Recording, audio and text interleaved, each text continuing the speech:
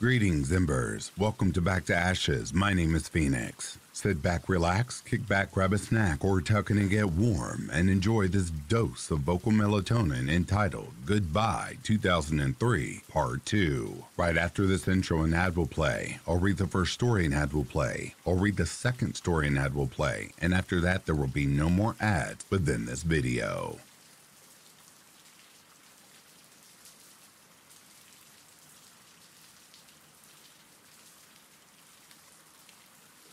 This happened when I was seven years old. I'm sharing because my older brother reminded me of it.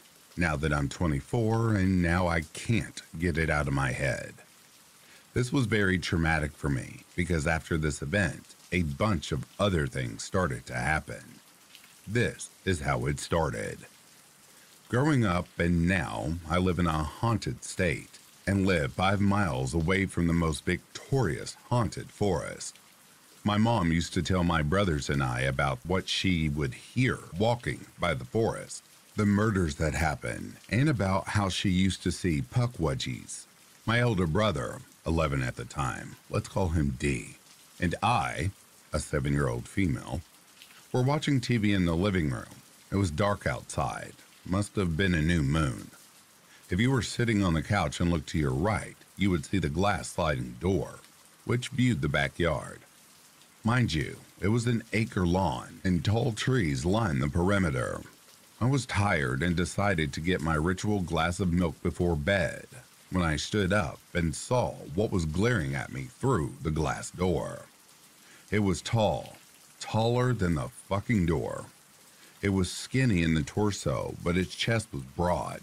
It was white with tall ears. I want to say it looked like the white version Donnie Darko. I was about 15 feet from the glass door. I froze. It didn't move, it just kept looking at me. It could not have been anyone else because we lived in the middle of the woods. I start calling my brother's name, but D wasn't answering me. I started to get louder, now calling for my mom. Her room was on the other side of the couch, so she was there in a heartbeat. She looked at the back door, looked at D, then told me to just sit back down. I couldn't understand why I was the only one freaking the fuck out. I laid on the couch facing away from the glass door. Dee puts a blanket on me and we both fell asleep on the couch. Well, 2021, Dee calls me from jail. He's been in and out since I was 13. This is how the conversation went. Dee, hey, can I ask you a question? Me, what's up? Do you remember that night? What night? The night where you were freaking out when we were young. Remember that tall, scary looking shit that was at the back door? Right then and there, I had a flashback of that night. Look, I had a dream about it last night, and I wanted to tell you that I saw it too. I was too scared to do anything. Mom saw it also. The combo ended because he only had so much time on the phone. I felt relief that I knew I wasn't just having a schizophrenic hallucination episode, but my body went numb from the memory of being so scared. I told my significant other about it. He's my best friend. My significant other told me that I came face to face with a Wendigo and how he wasn't surprised because of the small country town I lived in.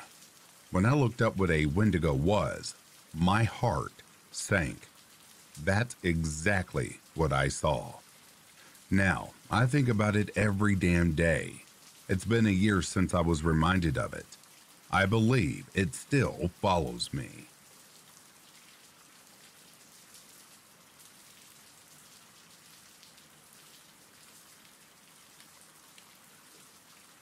I feel like this is pretty much mild in comparison to a lot of stuff I've read on here, but this shit was spooky, and I think about it a lot. So, here goes. In 2017, I was a junior in college, and my friends and I went to spring break at Myrtle Beach. Being broke and wanting to save money on flights, we decided we would drive there from our school in New Hampshire as splitting the cost of gas would be way cheaper. so we piled five of us into my friend's Hyundai hatchback and drove about 17 hours. We were almost there already, and we were driving through this little town. I will never forget it my entire life, called Fair Bluff, North Carolina. We got in there bright and early morning. First and foremost, the second we got in there, it was an absolutely morbid sight everywhere we looked. Just the year before, the town had been devastated by flooding in Hurricane Matthew. Broken down houses, all rotting from water damage, just apocalyptic, and everyone in the car agreed that the energy in this place was dreary. Despite this, we were driving slowly because we couldn't look away, so this memory plays in slow motion in my mind.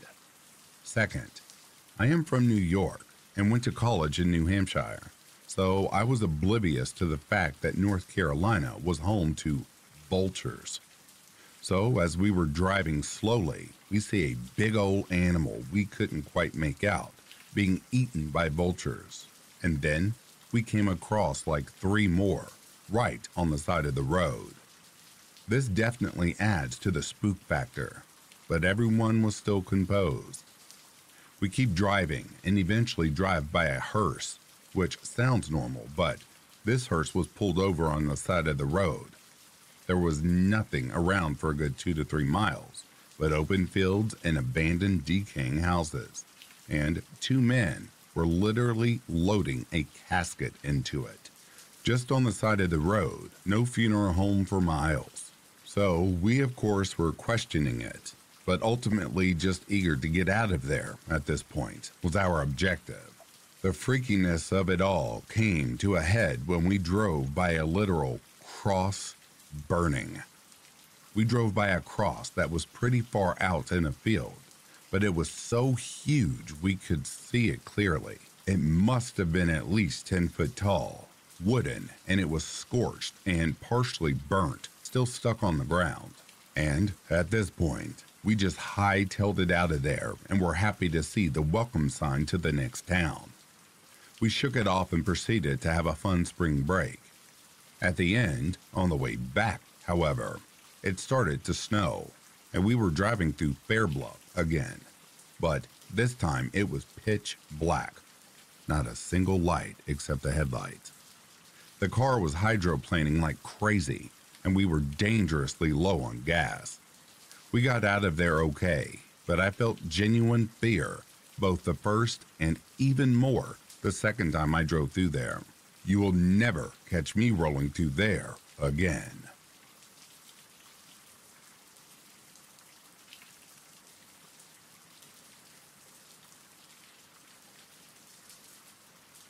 Around 10 to 15 years ago, me and a friend driving down River Road when some winged creature swooped the hood of my car, surrounding and blocking both the windshield and wrapping around to the passenger and driver's side windows, and then disappeared.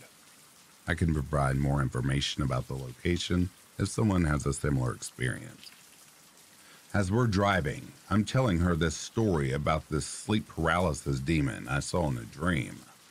It looks like a winged demon made of molten stone with red eyes, trapped behind a stone prison that it escapes and chases me. It's dark out, maybe 9 to 10 p.m. And as I'm telling this story as we drive under a large willow tree, something drops out of the sky, or the tree, and swoops the hood of my car, filling my entire windshield, wrapping around to my side windows with wings. My friend screams, and I stop the car. I remember it now as an owl with feathery wings, but part of me remembers red eyes, black fleshy wings, and a human face. But I'm not sure if that's just because of what images were already running around in my head when it happened as I was telling the story. There are owls where we were, so I was wondering if maybe that's something owls do swoop headlights or something, but there are no owls that would be large enough to explain what I saw. Just barn owls, and I've seen them before. I thought I'd ask around if anyone else has ever experienced something like this, as it has always bothered me. And my friend is sick of me asking what she remembers. She just said it was weird and she was too scared and closed her eyes. Has anyone else had an owl or large bird swoop their car hood? Is there a cryptid matching this description or something that swoops cars? Anything would help. I'm willing to provide more information if it helps. Thank you for your time.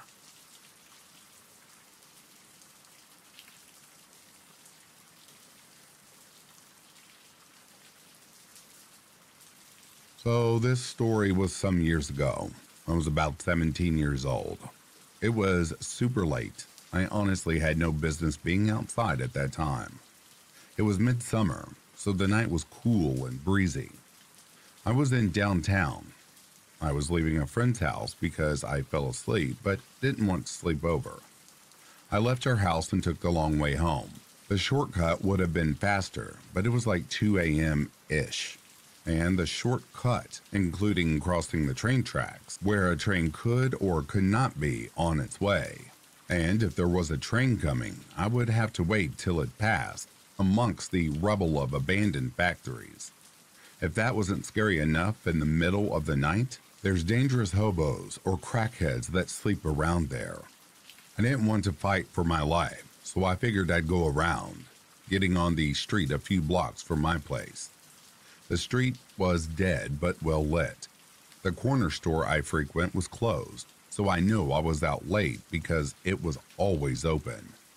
I kept walking.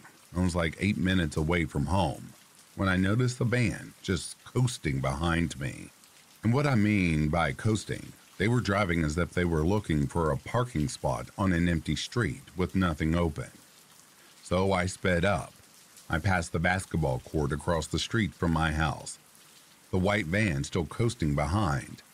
I came to the stoplight to cross the street, looked both ways, then crossed.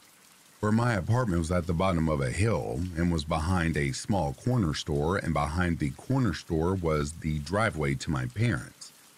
Across the street was the police department. Straight up the hill was the college, and the sidewalk had no light walking up. The only apartments were across from the dark sidewalk, but were gated and would mostly be no help in an emergency. So I get to the store and continue to walk, the white van now catching up to me. My heart rate started to beat faster. I was thinking, oh my god, I'm gonna get kidnapped. As I took the turn to my driveway, the white van sped away.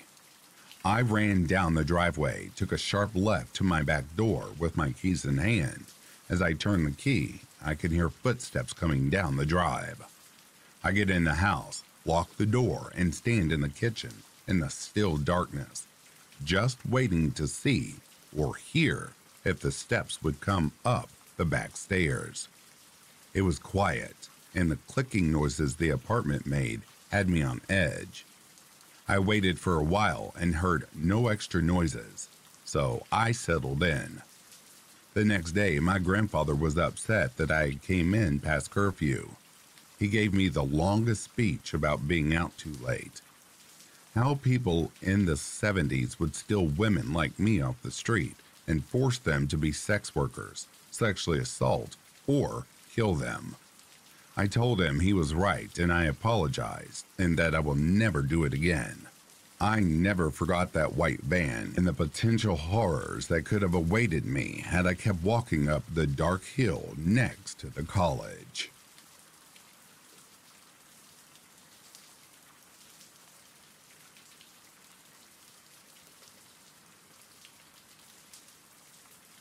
I want to preface this by saying I'm not dismissing this as a part of her imagination developing. She is three, though, and has never constructed a narrative before, and I'm not sure where this came from. Last night, she and her little brother were both scared to go into the loft or living room. It's an old house, it's over a hundred years old. I am currently trying to fix everything up. We moved into it about three to four months ago. She randomly said about two hours ago that there's a lady in the house I laughed and asked her what the lady does. What followed an increasingly weird conversation where I asked simple, non leading questions, and she gave the following info. The lady lives in the house, wears a green dress, and picks up her toys. She saw her in the window picking up toys. She lives upstairs in the loft and attic area. She can't tell us her name because the lady will get mad. The lady is her friend. The lady does not like mom. I obviously instinctively thought there's a woman secretly living in our house because of all the stories. I took my German Shepherd up there. I have noticed before by the way our cat refuses to go upstairs. My dog was fine and checked the place out. We really searched every nook and cranny, and there is no evidence of entry or anyone being up there. My German Shep didn't seem bothered by anything up there, and she definitely didn't smell anyone. If someone was up there, they'd have a hard time getting her to like them. She's semi aggressive with those outside the pack and has mauled an intruder at our old house. So I don't think anyone is up there. So I'm open to ideas, and I'm not going to believe anything for certain, but I would like to hear ideas from the paranormal community on if there are things that have similar traits and trends that are relevant here.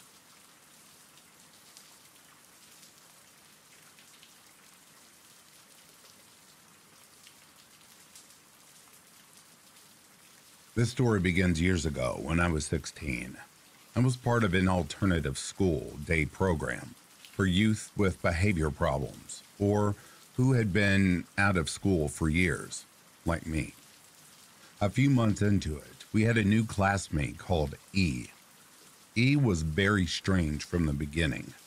He was very tall, severely underweight, glasses, with a bad case of cystic acne as the teacher introduced him to the class, I felt an awful gut feeling as his small beady eyes zeroed in on me.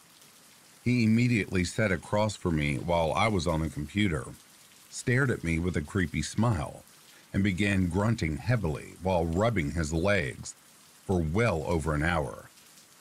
I determinedly tried to avoid eye contact and was convinced that E must suffer from a serious mental disorder. I later found out that E was diagnosed with paranoid schizophrenia. Over the next few weeks, all of my classmates either avoided or ignored him, called him weird and creepy. I privately agreed, but felt a bit bad for him considering that he was probably unaware just how creepy he really was. I attempted to be friendly towards him as a gesture of kindness, making small talk and asking him about his day. For the next few months, we spoke to each other briefly in passing, but not more than that. By the start of the next school year, many of our old classmates had left, and we had new kids in our program. I became the only female in our class. E invited me to sit with him one day during lunch, and feeling awkward and unable to say no, I agreed. This turned out to be a huge mistake. E eagerly asked me to be friends with him, and I said yes out of sympathy. We exchanged numbers and discovered we had a few similar interests in music and movies. He wanted to become a filmmaker and was obsessed with cinema. The next year turned into a nightmare. I began receiving constant texts from E every few hours, then progressing to every half hour. If I didn't respond within the next minute, I would be barraged with angry texts asking me why I was ignoring him. He became very angry every time I would talk about other friends or speak to someone else in our class. He verbally attacked every single one of our classmates to me in detail, insulting their appearance, intelligence, race, etc. I grew more and more disgusted with him and attempted to disengage myself from him but the more I pulled away, the tighter he would hold on. I was also very beta and a huge doormat at the time, dealing with low self esteem. I had no idea how to stand up for myself. Then, one day, E dropped a bombshell on me, and one of our other classmates who E was on good terms with. E told us that he had been expelled from his high school because he had threatened someone. We asked for more details, and he told us he had been in love with his eighth grade teacher for years, and he found her on Facebook and realized that she was engaged. He began messaging her, professing his love for her, and she repeatedly asked him not to message her and ended up blocking him.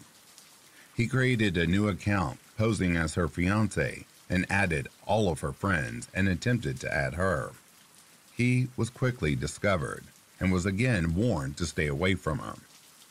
While in the 10th grade sitting in class, he messaged her again and threatened to kill her and her fiance and bomb his school if she didn't respond.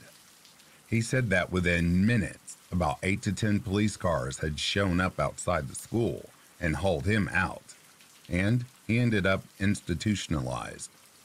Needlessly to say, when he told me all of this, I was horrified. To make matters worse, he also said that he was forced to attend hypnotherapy to cure his bad thoughts. I asked him to elaborate, and he told me that he oftentimes fantasized sexually about kids and wanted to hurt them. I was shocked, to say the least. I realized that this guy was violent and potentially extremely dangerous, and I needed to stay away from him. I attempted again to disengage myself from him, and even ended up leaving the program several months later, partly to avoid him. It was incredibly stressful having to see him nearly every single day in class, where he would obsessively follow me around, attempting conversations with me. What was worse, I began to have an inkling that E was developing a crush on me based on his obsessive behavior. I felt afraid, hopeless, disgusted, and wanted to get as far away from him as possible. When I finally left, I felt relieved as though a huge dead weight was lifted off my chest, and I could finally breathe again. E had begun to feel like a noose slowly tightening around my neck, preventing me from living my life. When I left, E was devastated and angry, asking why I was leaving him. I began ignoring his messages, which increased every 10 to 15 minutes, sometimes in the middle of the night. He threatened suicide if I wouldn't speak to him, and I felt afraid and as though I had no one to tell or turn to. I felt obligated to speak to him. He became progressively creepier, asking me if I could give him a pair of my old high heels, and when I refused, he became angry. He began demanding the names of all of my other friends and whether or not I had a boyfriend. I repeatedly lied to get him to stay away and claimed I was in a relationship, even though I wasn't. He would tell me how much he hated our classmates and wanted to bomb and shoot up our school. I didn't take him seriously. I know, that's very stupid of me. And believed at the time that he was just saying these things for shock value, and also because E had a very dark sense of humor. I eventually lost my temper sometime around Christmas and told him in no uncertain terms that he was not allowed to message me ever again. He blew up at me, insulting me, sending me all kinds of videos, including sexual assault and murder scenes from his favorite movies. He then began telling me that he was in love with me and that his feelings for his old teacher had transferred onto me. He said that he knew where I lived Feeling dread, I played along and laughingly told him that he was lying and to tell me my address. He proceeded to write my full address, postal code included, into the text. He then said, Maybe I'll come pay you a little visit. He gave me the full name and Facebook link of my younger brother, who was a minor at the time, which he knew, and said, I bet your little brother is hot. I was equally furious and terrified that he would threaten me and my family or think about showing up to where I lived. I began dreading him showing up at my doorstep. I barely slept for the next month, repeatedly having nightmares about him attacking one of us. I called my phone provider and asked them to block his number, since I couldn't do it manually. The call rep misunderstood me, and instead of blocking his number, he forwarded all of my calls to E's number. I was unaware for the next month or two. He quickly was able to get my sister's phone number, my cousin's numbers, and anyone else who knew me. He began obsessively calling my sister asking for information about me. I called back the phone provider and they rectified the mistake, but the damage had already been done. I woke up one morning and furious that I had to live in fear from this rat. I sent E a long message warning him that if he contacted me again, I would call the police on him and he would end up being institutionalized once more. He stopped contacting me after that, and I finally felt free. Three years later, I made a post on Reddit saying that I felt depressed, and someone in the comments messaged me offering me advice, saying that they cared about me and could help me. He asked if he could message me sometime. I said yes, message me anytime. The next night, I got a phone call from an unrecognized number. I picked up, and a man was hyperventilating and crying into the phone, saying, I'm sorry, repeatedly, saying he called the wrong number by mistake and asked if I hated him. I was freaked out and asked him if he needed an ambulance. He said, No, no, I, I just need you to talk to me. It sounds stupid now, but I didn't think that this person was E. I thought for sure it was a wrong number. I just stayed on the line while he calmed down, trying to get him to relax, repeatedly telling him it's okay. He thanked me and eventually got off the phone. The next day, I got a text from the number thanking me for yesterday, and he felt ashamed. I told him it was no problem and nothing to be embarrassed about. He asked me if he could text me sometime, and I told him yes. He then said, my name is E, by the way. What's yours? I felt myself fall back into the old nightmare, but tried to convince myself that it was a coincidence. I asked him for his last name, and he confirmed that it was the same last name. I then messaged him the same thing I told him before not to contact me and to stay away from me, or I would call the police and get them involved. He didn't message me again after that. That same day, someone had deleted the Reddit account that had messaged me. I did get a few creepy texts over the next year from random numbers, obviously fake. Things like, Hey, are you the guy who threw the pool party at your house? Where do you live? What's your name? I just want to know if you're the same person. Sometimes I would get phone calls with someone breathing heavily into the phone. I did eventually get a new number, which put a stop to all of this, thankfully. The next time I would see E was several years later. I was at a library far from where I live at night, checking out a book near closing time. I turned around as someone opened the door and saw a huge, hulking man wearing a trench coat and a fedora. Not even kidding about this. With a scruffy beard, glaring at me with such ferocity He'd gain even more weight than the last time I'd seen him, his hands curled into fists.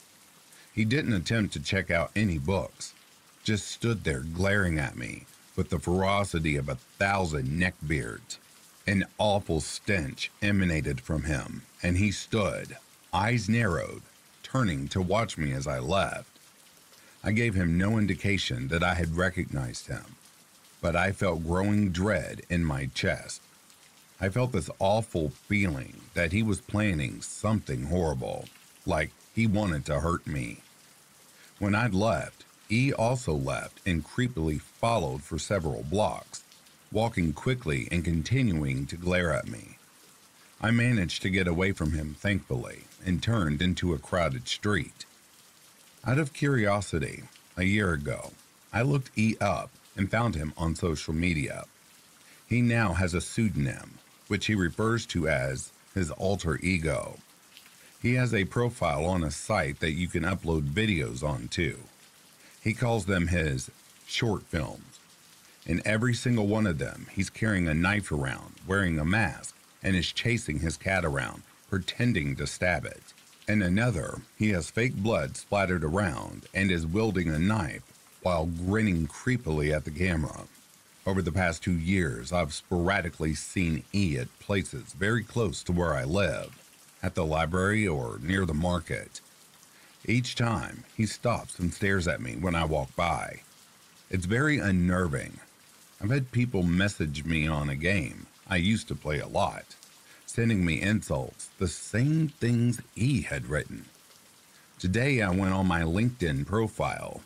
I use a fake name so people like E can't find me, which has a feature called People Also Viewed. It shows the people who viewed your profile have also viewed these other profiles. All of them were filmmakers in our city. One of them was for a private investigator who is also based in my city. I refuse to believe that this is a coincidence. I think E found me on LinkedIn, viewed my profile in private mode, and also viewed the profiles of those other people. I'm wondering if E has already or is planning on hiring a private investigator to gather more information about me.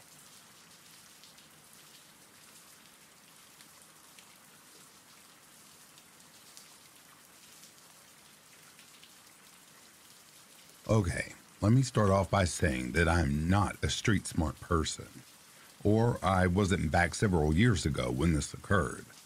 I've always been pretty naive and trusting, sadly, which has landed me in some pretty crappy situations. But this one was by far the scariest. So I had just recently gone through a really, really shitty, bitter, horrible breakup with my boyfriend and found myself living alone after he packed his bags and left. I didn't really know many people in the area, and so tended to turn to the internet to pass the time. Long story short, I started chatting to a guy, let's call him John, and we started hitting it off, and it turned out he lived really near me. By really near me, I mean like half hour walk away. So we decide to meet up the next day and see how it went. I phoned my friend, let's call her Anne, Anne is infinitely wiser and more cynical than I am, and told her what the plan was. She insisted she come with me as I don't know this guy. He could be an axe murderer, blah, blah, blah. So the next day, Anne and I meet up with John at around lunchtime in a local pub. It was midsummer, so we sat outside in the beer garden. It was pretty busy despite it being lunchtime, and this place was right next to a busy road, so there was nothing to worry about, right? Well, we got some food and a beer. We were all chatting, and it's going pretty well. We were all hitting it off and having a laugh. We are taking turns to go to the bar to get around. I don't know if this is the term outside of England where one person buys drinks for the whole group, then later the next person goes and does the same, so on and so on. So the day is turning into the afternoon, which is turning into evening. The pub is filling up, and we barely notice the time going by as we are all having a good time. We are filled with five or six beers by this time, so we are pretty tipsy too. So John goes to the bar to get his round in, and the next thing I know, I'm waking up the next morning in my own bed. My face is hurting, and there is blood all over my sheets. I started freaking out at this point because I have literally no recollection of what the hell happened between 8 p.m. and waking up the next day. I don't know where the blood has come from, and I don't know why I'm hurting. So tentatively, I get up and take a look in the mirror. Now, my face is an absolute mess. I look like I've been in a fight and lost badly. I have a black eye, split lip, Half of my face is just scraped and bruised. I feel sick. I was totally gobsmacked. What the hell happened to me? So I open my bedroom door to go to the bathroom when I see out of the corner of my eye John laying naked on my sofa. Now, at this point, I'm just losing my mind and start yelling at him like crazy, demanding he tell me what the fuck was going on. He eventually calms me down and explains to me that I got out of mind wasted the night before, and I was embarrassing myself, slurring and stumbling all over the place. And eventually, I fell over a picnic bench and hit my head pretty hard. Apparently, I was bleeding and refusing help from anyone, so he called a cab and brought me home, like the absolute knight in shining armor that he is. I didn't remember any of this, not one single moment. I had a million questions, but at the same time, I was utterly speechless. I know I had a few to drink, but it was no more than an average person would consume at a night out in a club. And I had had many of those. Was it possible that I just had that one too many? Hmm, I guess so. What other explanation was there? I just looked at John with my mouth open, head absolutely pounding, and eventually managed to muster. I'm going to be sick. So John looked after me that morning. He peppered the day with the odd tale of dumb things I'd done the night before and how I must be so grateful because anything could have happened to me and I never would have got back without him. I ate and got dressed, and by that afternoon I was feeling better. So he said he wanted to take me to his house and make me dinner so we could resume our date. You know, from the point where I'd ruined it by getting blackout drunk. So I said, yeah, sure. It was nice of him to still want to hang out after everything. Like I said, I'm a naive twat I really don't have much situational awareness at all. So we get to his house late in the afternoon. But when I say house, he lived in a static caravan, in a caravan park. I mean, it was nice enough inside, but I couldn't help but get a creepy vibe from it. It was tiny. The layout was you open the front door into the living room then further in, you have the kitchen and the dining area. Then through a door into the tiny hall, you have two small bedrooms and the small bathroom. And then after that, there's a back door in the main bedroom. Now I'm sitting in the dining area while he's cooking, and we are just generally making chit chat. I'm feeling pretty awkward now because I can still remember absolutely nothing of the night before.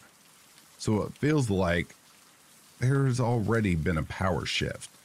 Like he knows more about me than I'm aware of, and it's really uncomfortable. I decide I would eat his food, then politely excuse myself home. I didn't know what I was thinking coming here in the first place. I'm a pretty go with the flow type of person, but even I had started thinking, what am I even doing here? Just then, he asks me how I'm feeling, and as I'm deep in thought, I don't even think about my reply. I feel like I've been drugged, I said distractedly. Well, at this point, he just flips the fuck out. I mean, he's just going insane, saying, What am I accusing him of? And how dare I accuse him of things? And I can't prove it, and I'm just trying to cause all sorts of problems for him. And he's on parole, so I'm basically sending him back to jail with my lies. I had no idea at all that he was on parole. He would later tell me in his insane rambling texting sessions that he was arrested for domestic assault. Great. He starts literally getting stuff off the kitchen sides and just smashing them. Throwing plates against the wall, pulled the toaster out of the socket and smashed that on the floor.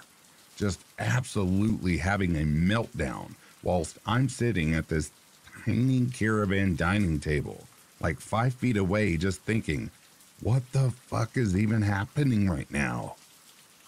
I move to stand up and tell him I think I'd better go when he suddenly lunges at me and shoves me as hard as he can.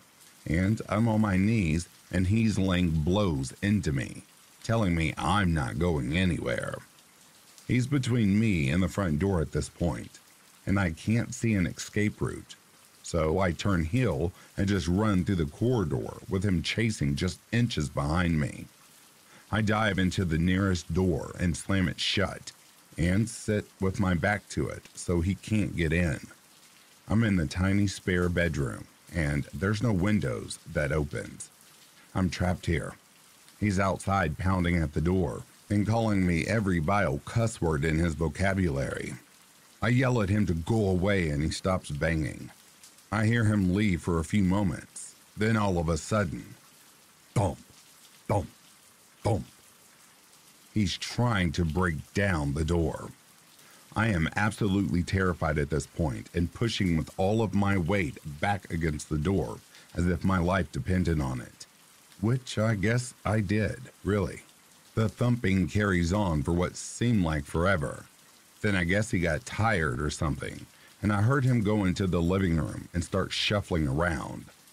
I still stayed backed against that door, sobbing for at least another hour. Eventually, I hear the TV come on. He's actually sitting, chilling, watching some TV, like nothing, whilst he's basically got a hostage cowering in his spare bedroom.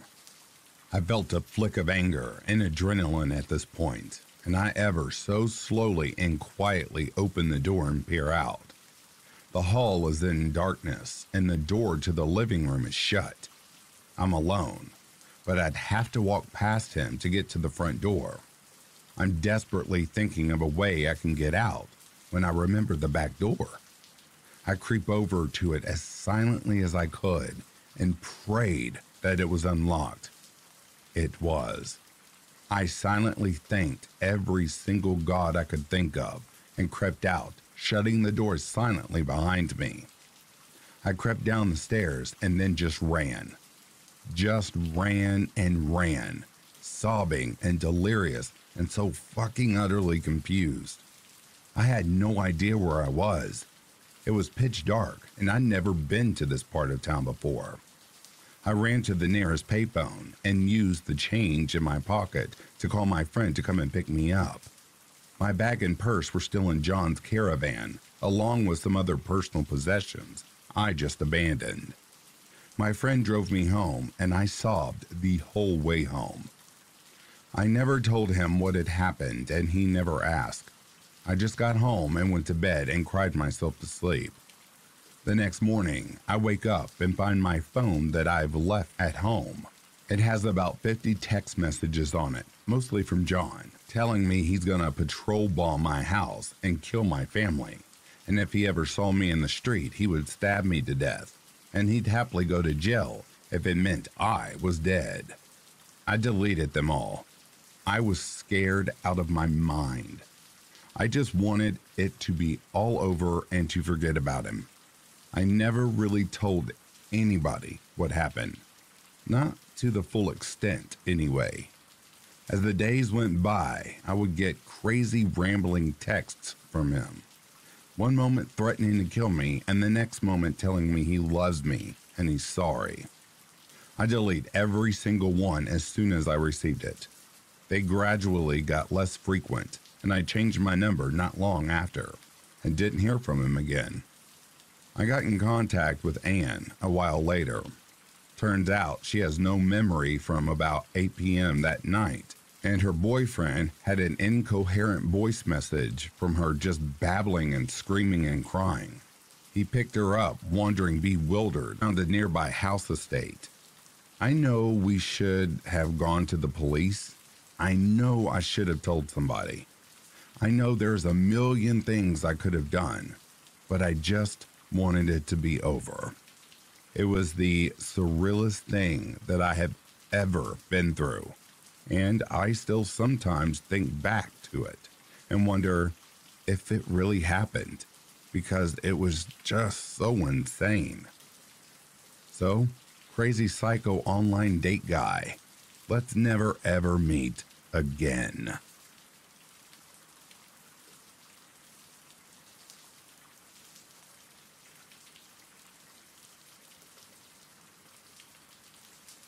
I used to do DoorDash on the side for extra cash.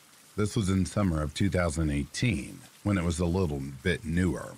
At least in my town, it was. Since then, I think they've made a lot of changes, but at the time, it was a little unorganized. If you don't know what DoorDash is, it's like a food delivery service typically for restaurants that don't deliver. Think about McDonald's or etc. Anyways, the one night I was doing deliveries all day, I decided to do my last delivery at around 10 p.m. So I get an order in, and the person wants a medium cheese and pepperoni pizza and loaded potato wedges from a pizzeria nearby. I was kind of wondering why they'd order a pizza from a pizzeria that delivers, and I figured it's because this place was notorious for taking forever when you order for delivery. I accepted the order and headed to the pizzeria. I got there and picked up the pizza, confirmed on the app that I had picked everything up and was on my way. The app notified me of the special instructions that the customer asked for, which was to call him when I was outside. Okay, nothing unusual there. Lots of people ask so they can come out to me. I get to their address and it's downtown. It's a larger apartment building and it's completely pitch black and I instantly get an eerie feeling. So I pull to the curb, stay in the car. Hell no, I wasn't about to go near that building, and call the number. Luckily, DoorDash has this thing that hides your actual phone number. It rings a couple of times, and then this really creepy woman's voice comes on the line and says, We can't get to the phone right now. We're a little tied up and then creepily giggles. Meanwhile, the entire time in the background, there was another woman screaming. And I do mean screaming for help and for her life. It got even louder, as if the creepy woman was purposely putting the screaming woman on the phone. I instantly hung up and drove off really quick, not even knowing which direction to go. Luckily, there was a super popular restaurant a couple blocks away, and I pulled into that parking lot and pulled up the app. I was worried about getting in trouble for not being able to deliver the order, so I contacted DoorDash Help Center, and they told me I had to wait 15 minutes to see if they'd call or message me about their food. Well, they never called, and thank God for that. I'm sitting here in the parking lot of this restaurant telling my mom about it, and we agree that it is probably a prank, but that just in case it isn't, I need to call the police. So I called the non emergency number and tell them everything.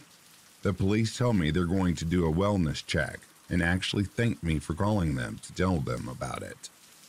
I went home and nothing ever came of it, but I do still think about it from time to time.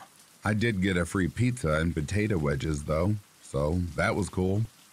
Creepy lady in the apartment, let's not meet. And to the lady screaming, I hope you're safe and okay.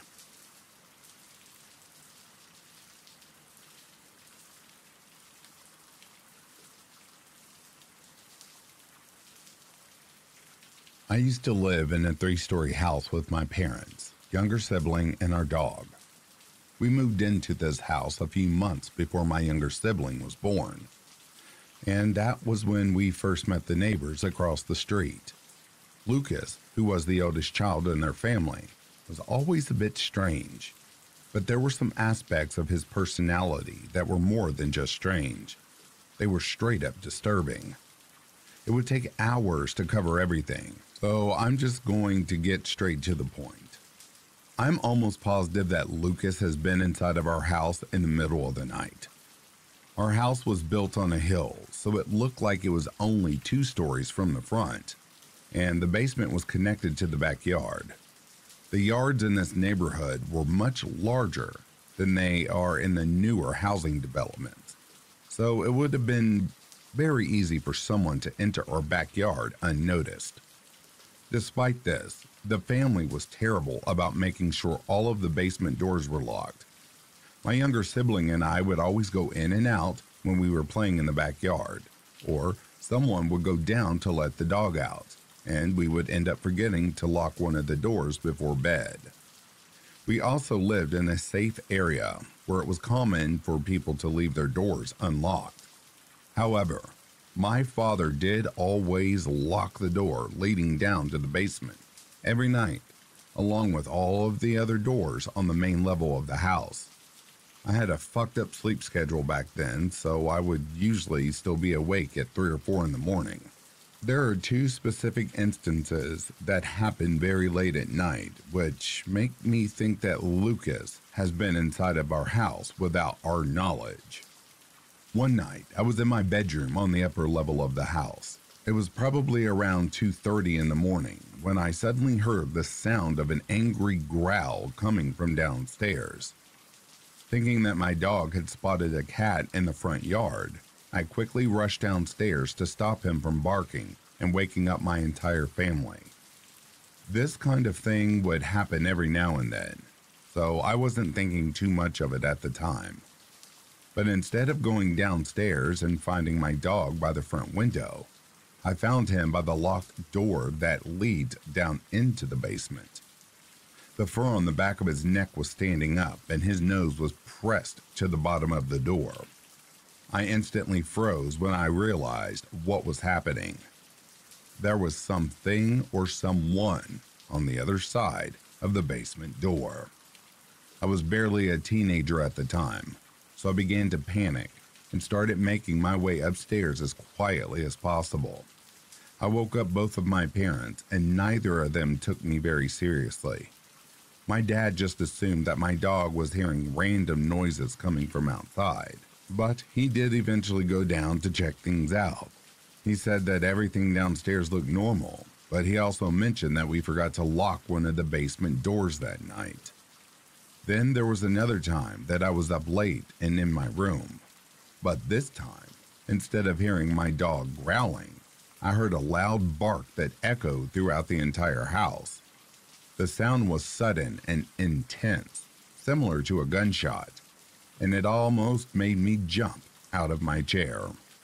Assuming again that my dog had seen a cat outside, I quickly looked out of my bedroom window and tried to spot whatever he was barking at. But my heart suddenly dropped when, instead of seeing a cat, I saw Lucas running out of our front yard in the pitch black. I watched him run across the street and back towards his own house before I rushed to close the curtains and duck out of sight. I remember sitting there struggling to process what I had just seen and questioning why Lucas would be in our yard in the middle of the night. I told my mom about it the very next morning, and she said that she would bring it up to Lucas's mom. Because of these two instances and because of other details that I can't include, I'm 99% sure that Lucas has been inside of our house in the middle of the night. If you knew the entire story behind this family, then you would also find the thought of this to be extremely disturbing. I do want to mention that this all happened years ago. My family no longer lives in that house, and those neighbors across the street are doing fine. But looking back on everything now, I'm realizing just how creepy the situation truly was.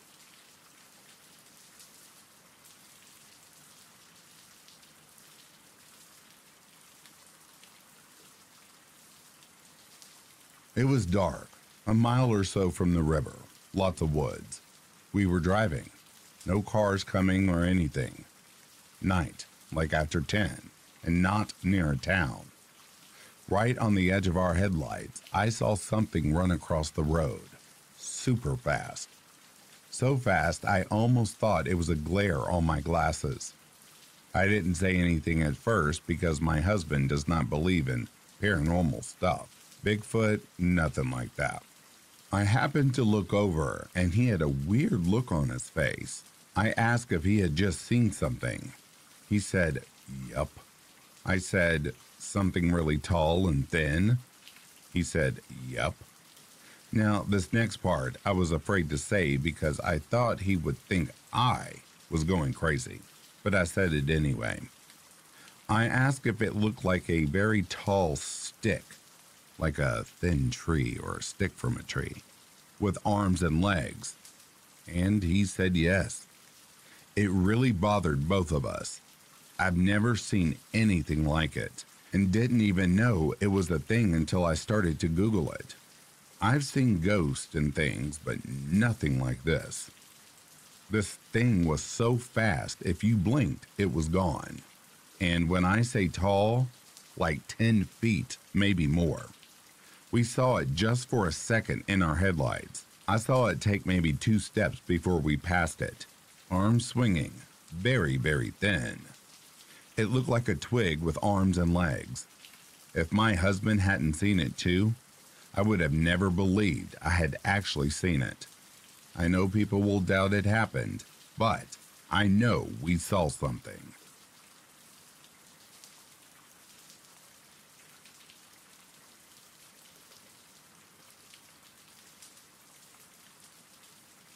Small chance I'm the cause of one ranger story from about a decade or so ago. I was hunting public land with my dad, several miles from anything close to a trail. So the day goes by and not much is going on. Weather is shitty, and I'm not hearing distant gunshots, so I reckon the deer aren't moving much. I radio to the old man that I'm going to head back, and we make plans to rendezvous where we had split up that morning. Twenty or so minutes later, I was kneeling around the edge of a pond, stripping off all my bulky camo layers. I was just fucking around, putting stuff in my bags while I listened to my earphones. I can't remember if I had taken my blaze orange hat off or not to remove my pullover, but I had all the appropriate gear to denote myself as a hunter in my possession. As I was digging through my bag, I thought I heard the faint bass of someone yelling. So I took an earbud out and noticed that crouched on the opposite side of the pond, there was a lone forest ranger, kind of just watching me. I stood up but didn't wave, and I wasn't sure he had even yelled to me in the first place, so I didn't holler anything to him. We just kind of locked eyes for what felt like a few minutes. To be clear, we weren't doing anything illegal. My rifle was unloaded by that point, though slung over my shoulder, obscuring the fact the action was open. And we're following all laws and regulations. I hunched back over to my bag, pulled out my walkie, and radioed to my dad. We've got company. My motives weren't nefarious. I just didn't want my dad to come bumbling down the hill and be surprised by a friendly law enforcement officer. When I looked back up, maybe 15 seconds later, the ranger was gone. I mean, flat the fuck out gone. So eventually, I meet back up with my dad and start to tell him about what happened. Yeah, as deep back in here as we are, he probably thought we were up to no good and hit the trail when he saw you on a radio. They get ambushed like this. As someone who gets nervous, anxious around cops, it never occurred to me that I could be causing similar anxiety in them. If you're reading this, DNR, bro, I'd like to offer you a heartfelt my bad and keep up the good work.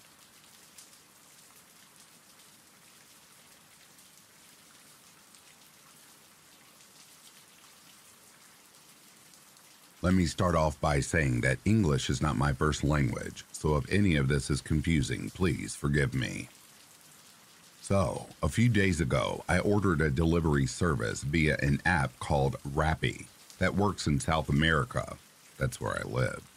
And to be able to get the delivery, you obviously have to give details like your cell phone number and your house address. When I received the delivery, the guy started flirting with me and asking me weird stuff. I told him I am only 16, hoping that he would then leave me alone. But he just tried to keep making conversation.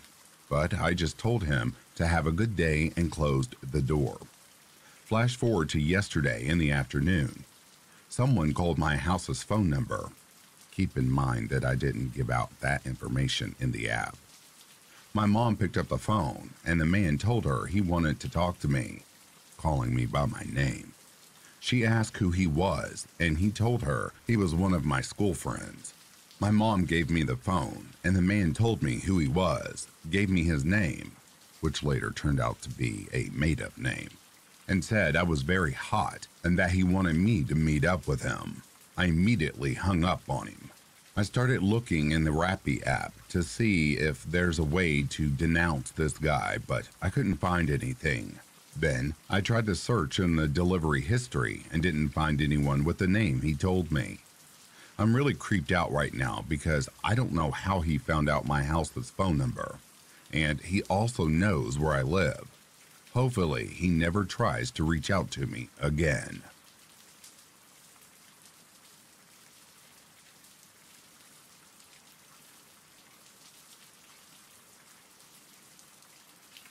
This was last summer, so around a year ago. I was in rehab and decided to make a Ouija board, and me and my three roommates there had all agreed we would try it out. We were all very skeptical, mostly leaning towards the side of disbelief, but still open. It was a full moon that night. We started by holding hands in a circle around the board and saying that we were open to any spirits willing to talk, and I guess just putting that energy out there. Then we took the planchette and moved it around the board in circles a couple of times. We are in rehab with no access to the internet, so kind of just doing what we felt was right, not sure on proper procedure. When we were all moving it, our hands were heavy on the board, and you could feel it being dragged. I will admit, I tried moving it on my own as well in the beginning to just mess with my friends, but again, the planchette feels like it's being dragged. Then I stopped and began to take it seriously, and when it was actually moving, it's hard to explain, but there was an entirely different energy to it. It glides across the board like butter. The board and planchette were made from cardboard. We were all so freaked out. Sometimes a couple of us would take our hands off, or we'd tell another girl to move her hand, and it would still keep moving. It spells one of the girl's names. We'll call her Sally. Her name is a very unusual name. We ask who is contacting us, it said sister. Sally had a little sister that died under her care when they were very little. Sally, of course, is scared. She asks, What is your name? It spells F L O R. I'm thinking maybe it's trying to say Florida, but stopped.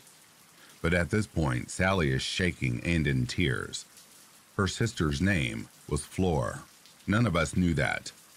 After that, I think we contacted another spirit that said it was a female and had been shot, and maybe another one that I cannot recall. It's crazy because the energies felt different, like how it glides across the board. So now we're all total believers. It's maybe the next night or two nights after. Me and one of my roommates decided to play. I think we contacted a spirit similar to the one from last time, when all of a sudden the vibes completely change. It spells out my name. I'm like, oh no. And my name is also super unique as well. And even though I believe in this now, that's the last thing I wanted to happen was something to address me directly. The planchette starts zooming back and forth, back and forth so fast it was going to AZ, AZ, AZ, AZ, AZ, AZ over and over, basically flying out of our hands almost. We're kind of scared, and no matter what we ask it, it keeps repeating the same letters, A and Z, over and over. So we get super spooked and stop playing. The next night we decided to try again, it starts like usual, putting forth our intentions, doing circles and asking how many spirits were with us. My name was spelled again. I asked who it was. It said, Father. My friend asked me if my dad was dead, and I said, No, what the fuck? We asked what it wanted, and dude, it spelled out painful, then went back to doing the AZ, AZ, AZ thing decided it wasn't going anywhere, so we said goodbye and put it away. We tried one more night, but it was the same spirit messing with us with the same letters over and over, so we didn't do it again. That whole experience was so insane to me. I kept a journal of all of this when it happened, so if I went and looked, I could give all the exacts.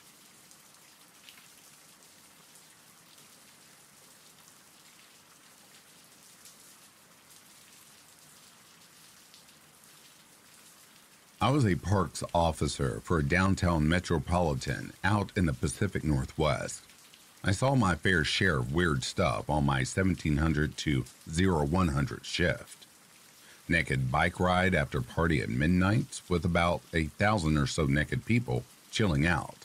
The occasional couple having sex, homeless person masturbating or shooting up heroin, and the occasional dead body were all a normal part of the job. Anyways, this one night, we were sent to investigate a tent set up relatively near the waterfront, which was generally a homeless person that was trying to stay dry for the night. So we're there at around 23:30 and tell the lady inside that she has to go a few hundred yards away to an area that isn't patrolled. She fusses and bitches about having to move, then mentioned a man living in a cave at the bottom of a shallow ravine nearby that's been killing small animals and eating them. We ask her for more information, and she points to a general area about 50 yards away through some thick bush. The general area most people wouldn't wander past. My partner and I start to walk through the thick brush with just our flashlights and eventually stumble upon the ravine. And sure enough, there is a small opening on the side, enough for a person to fit in. I scale down about 20 feet and peek inside the opening and see what seems like a massive pile of magazines, torn pages, articles of clothing, a sugar cookie tin, a gorilla costume hand, some crude looking tools, including a makeshift bow, a few knives, and other general weird shit. Being curious, and that the cave was empty, I opened the sugar cookie tin and found a large amount of what seemed like raw animal meat. At this point, I was thoroughly freaked the fuck out and decided to unask the area and inform the police of what I had found. We didn't carry weapons, by the way. We never found out what became of the guy who was staying there or what was going on there, but definitely freaky at around midnight in pitch black conditions.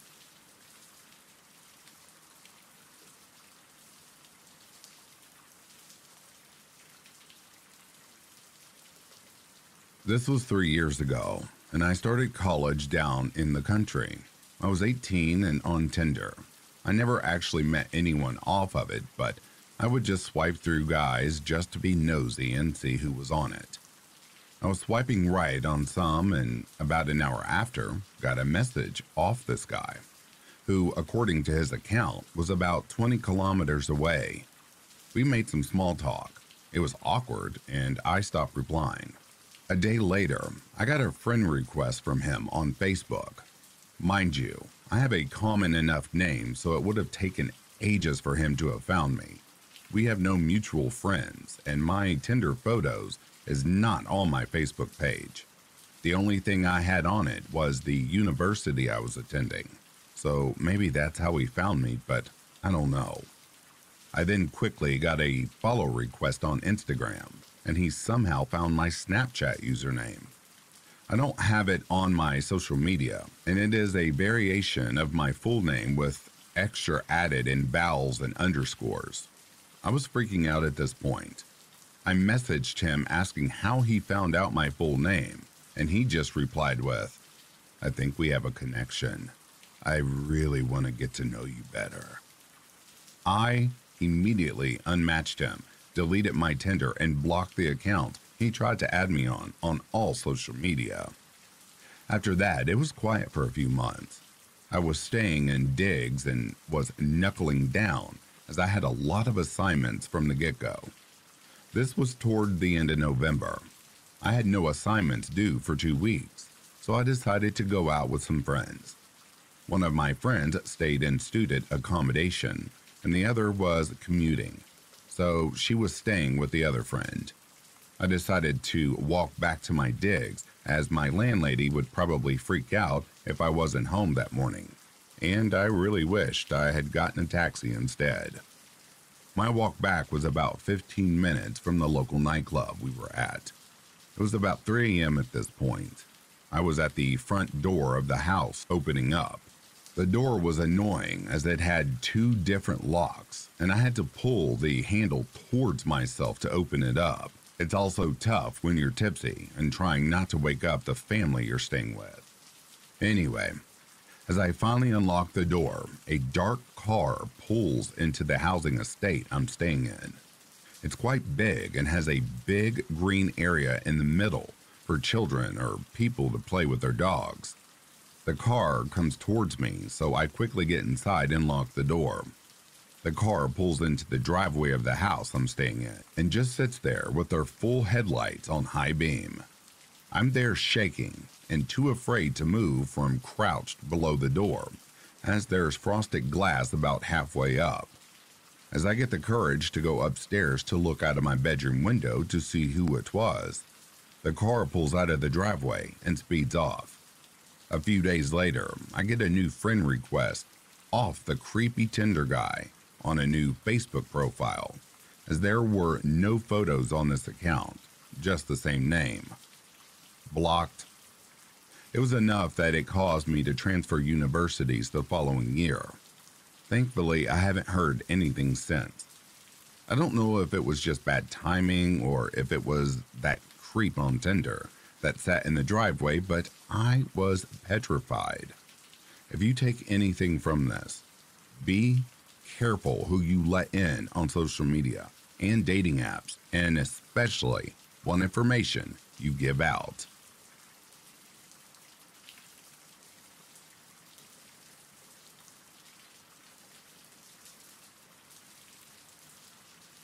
I'm sorry if my grammar is a bit off. This is my first time writing this down, and I'm not exactly fluent in English.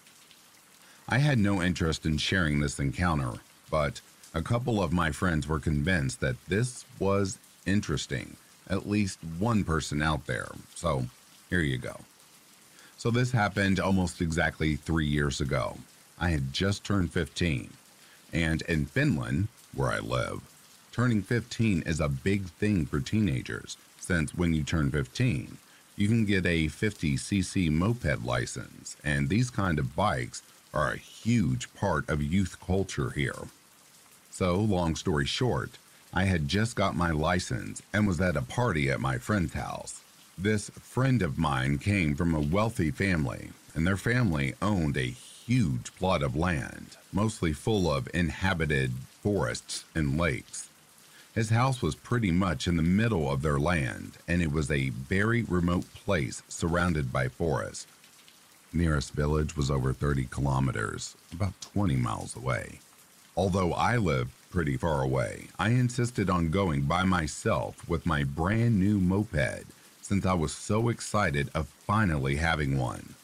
My parents were, obviously, against this, but ultimately allowed me to drive there. The party lasted the entire day, and when it was around 2 a.m., I had to finally leave. Although their family is wealthy, the only road that connects my friend's house to the big main road is a long, badly kept, and narrow paved road surrounded by forest. It is unsettling as shit, especially at night. It should have been illuminated properly, but at the time, pretty much every single street lamp was either broken or tipped over by storms. I had asked them several times why they didn't take care of the road, but they simply replied that they weren't interested in paying out huge amounts of money for some company to come over and repave the entire road and replace every single streetlight. Since it was already completely dark, the only thing illuminating the road was the small single front light on my moped. After about 10 minutes on the road, I was about five or so minutes away from the main road, so it was still pitch black. Nothing was out of the ordinary, until I saw movement in the corner of my eye. I saw a figure running from the pitch black forest and falling down on its face in the middle of the road, in front of me, with branches and leaves flying all around it. I slammed the brakes and luckily avoided hitting the figure. The back brake locked up, so I ended up falling over and sliding along the road for a bit. When I finally stopped, I quickly stood up. I was okay apart from a few scratches and looked to where the figure was laying at. Of course, I thought that it was an animal like a moose or a deer, but I quickly realized that it wasn't an animal. It was an adult human, pretty surely a man. At this point, he stood up and we were about three meters from each other, just staring at one another. I've never been more scared in my life. Even more disturbing was that this man seemed to be more scared of me than I was of him. This man was about 20 to 30 years old, quite short and very thin. His face was pale and his eyes were deep in his sockets. If you know what a badly malnourished person's face looks like, you know what his face looked like. He was wearing a dirty turquoise hoodie and basketball shorts, despite it being less than 5 degrees Celsius outside. He had unkempt blonde hair full of debris and leaves and had no shoes on, only soaking wet socks. At this point, he was constantly shaking, jolting, and glaring to the direction he came out of, with a worried expression on his face, like he was being chased or he knew that something bad was in that forest. I wanted to say something to him, but I was unable to say anything. After a short while, he looked straight to me and opened his mouth. It was like he was about to say something, but he quickly backpedaled, closed his mouth, and suddenly bolted to the forest without a flashlight or any other source of light, and quickly disappeared. I stood there for a while alone before running to my moped, lifting it up and driving as fast as I could to the main road.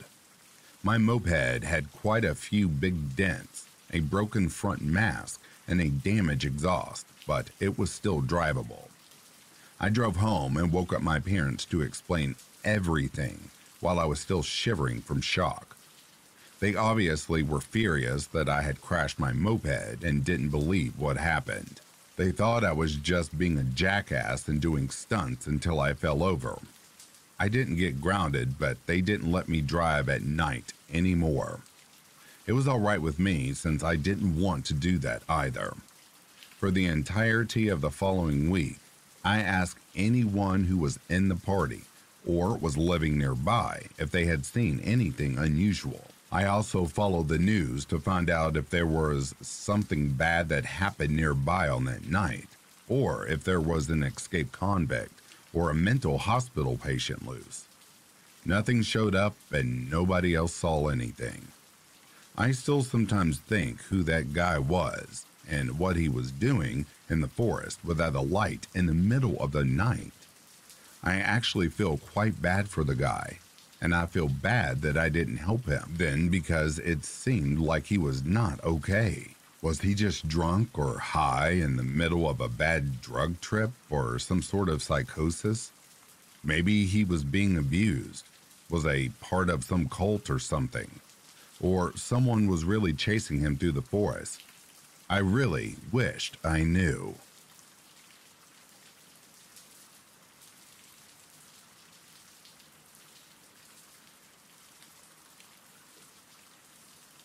As of late, I've been racking my brain for let's not meet encounters, and while I have a ton, none of them really seemed right until I remembered this one.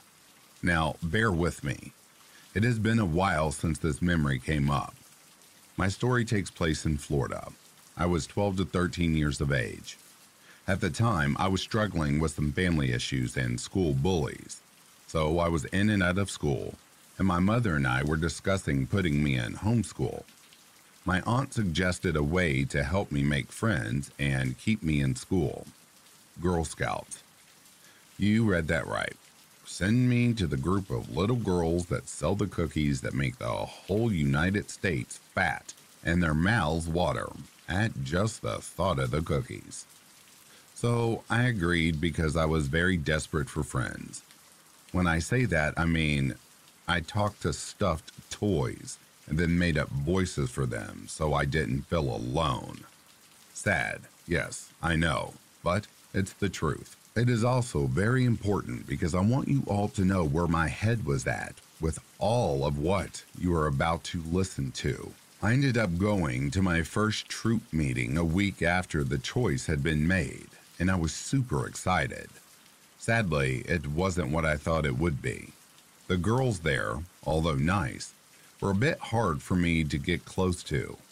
It was a small troop of about five to eight girls, and they certainly ran in different social circles than I.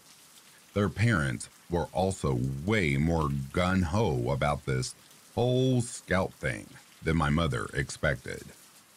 They wanted this to be a stepping stone to their daughter's huge careers in college classes, etc. Anyway, after being part of the troop for two to four months, it didn't go so well. The girls shunned me, and I grew even more lonely. I even decided to approach a girl, asking her why she didn't like me. She had no problem telling me, so my mother withdrew me. Another two to three months later, another troop showed up in our area, and my mother decided we'd give it another go. After all, not all girl troops are like that. People are different, and she was certain someone would want to be friends with me. She was right, really. I did end up making friends. Not the entire troop was in love with me, but the troop leader's daughter and I had become the best of friends. Of course, my mother was thrilled. I finally had a friend and was starting to smile again. It hurts parents quite a bit to see their kids upset. Her and I did everything together. We didn't go to the same school, but that didn't matter because we'd have sleepovers every weekend. I'd go to her house every other day after school and do homework. She had parties, lots of them. Anytime her mother thought her daughter had something to celebrate, she threw a big party for her. And being her daughter's best friend, I was always seated right beside her. It was one of the happiest times of my life. I felt important to someone other than my family, and I had a place to go outside my home where troubles always seemed to lurk. One year turned into the second. We finished Christmas, she actually came to my birthday party, got me a gift and everything. Then things started to get weird. Because I was a year older than her, I had a bit more homework, being that I also was a grade level ahead of her.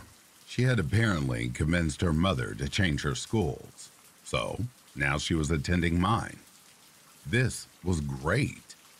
I once again was over the moon. Only sad thing was we didn't have the same classes or the same lunch period. Well, that soon changed too. She showed up once for my lunch, and I thought it was weird. Apparently, her mother had pulled some strings, got her into lunch during my time. Don't know the details, just know my best friend and I could eat lunch together. I remember telling my mom, and she didn't let on that anything was the matter. But later, when we talked about this, after I'd grown up a bit more. She admitted the news concerned her. Then, though, she just acted like it was the best news ever because I was happy. I decided to go fishing with her and her uncle during the summer. Spent weeks over at her home with her mother and her uncle. I'll admit the uncle was a bit different. I mean, he didn't set off any alarms, but he wasn't your usual uncle. As far as our Girl Scout troops went, we became the leaders. We pushed our troops into camping trips and selling cookies more and more. It was great. I'd never been so highly regarded. The girls in the troop even began treating me like one of them. I was happy. I fit in. That ended up changing. Quite a lot, actually. Towards the end of summer, I discovered her uncle, wasn't really her uncle, more of a guy trying very hard to make her happy so he could bang her mom. He eventually stopped coming around, and her mother, I noticed, drank. A lot. More than I'd seen any adult drink at the time. The end of summer meant our last trip was coming up. The last camping trip we would get before classes started up again. I was excited to go. My mom and I bought everything we thought I would need, and my best friend and I jumped right into the van. I waved goodbye to my mom, and away my troop went. Now, it is important to admit here that I had a love of horror stories. I love spooky stuff and the occult, so the idea of a camping trip meant campfires and scary night stories. I was excited. Once we got to the campgrounds, I realized it wasn't going to be like camping with my family. It was a huge gathering of other troops all together older scouts, younger scouts, and us. Of course, the older scouts told us that there were some creepy gnome or troll like creatures near the lake, but none of us believed them. It was a fun weekend, just not the same kind of fun I was expecting. I never got to tell my stories, and it was more about building teamwork and Girl Scout stuff than I thought it would be. I know, I know. What did I expect, right? You live, you learn. Anyway, the last night I decided I would tell a ghost story. I insisted on it. So, after the troop leaders went to bed, my friend and I gathered all of our troop into one tent, as we'd been separated into two. And the stories began. We each told a scary story or a funny, embarrassing one. And then I was the last to tell a tale. I told my story, scared the other girls, and we hurried back to our respective tents before daybreak. Then we all packed up and got into our rides home. Everything was fine till the next meetup for my troop, a week later. My mother and I showed up, and there are the adults looking very angry. Mothers, fathers, none looked happy. My friend's mother stepped up to my mom and pulled us aside. This is what I remember from that conversation. Troop leader. Miss Beeper, little Beeper isn't welcome in the troop anymore. My mom. What? Why? What happened? Well, it seems Beeper told a story at camp and it has given some of the other girls nightmares. The other adults requested she no longer come to troop meetings. What? Are you serious? It was just a story. You can't. She. She didn't know. She loves this group. This is where her friends are. Why didn't you tell me this earlier this week when I was dropping her off at your house? The troop leader shrugged and sighed. I, at this point, took off running away from my mother and my friend's mother. I wanted to talk to my friend, to the other girls of the troop. I was going to apologize to them and their parents. Found my friend. She didn't seem heartbroken in any way. In fact, she was okay with it. I never liked sharing you with them anyway. They were stuck up and snobby and they just didn't get you. I get you. We are like sisters. So now you and I can be together more. What? But I like the other girls and being in the troop. And what about when the troop meetings happen? So, are you asking me to quit the troop? I will. I'll make my mom quit too. No more troop. No, no, no, no, no, no. That isn't Beeper. We are best friends. Best friends forever, remember? Anyone who doesn't like you isn't a good person, and I don't like them. It was the sweetest and nicest thing I heard from anyone. She was so into being my best friend that she'd give up this entire group. I broke down in tears. I was happy. I was sad. It was a little and a lot at the same time to take in. Sure enough, the troop would be disbanded after this. It would be a month, but eventually it could no longer be carried on. Her and I remained friends, though. I continued hanging out with her at her house. Another uncle came into the picture. That Christmas I spent at her house. Christmas night, her mother and the uncle let us, a couple 13 to 14 year olds, take a full flute of champagne. I wasn't fond of it, but we felt so adult like. The uncle kept making some rather inappropriate comments about my friend and I. Her mother became annoyed at him. They fought, he left. The next morning was hazy at best, but I remember finding my best friend in my sleeping bag with me. It didn't weird me out. We did that sometimes, crashed in each other's beds. The next week, she called me any time I wasn't with her. Our friendship became much more, uh, creepy. The calls were every hour that I wasn't with her. She said a lot of I love yous and you were mine, my best friend, mine. I didn't think anything of it. I thought it was normal. Her mother drank more. My mother became concerned. She had every right to be. Our sleepovers got weirder. I was waking up to always having my friend in my sleeping bag. If she wasn't there, she'd beg me the night before to lay in her bed with her. I just thought, you know, her life at home was as rough as mine. It was what drew us together. Then one day, she admitted she liked me in that I like, like you way.